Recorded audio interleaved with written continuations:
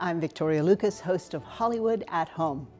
This week's film is the 1947 romantic fantasy The Ghost and Mrs. Muir, starring Gene Tierney and Rex Harrison.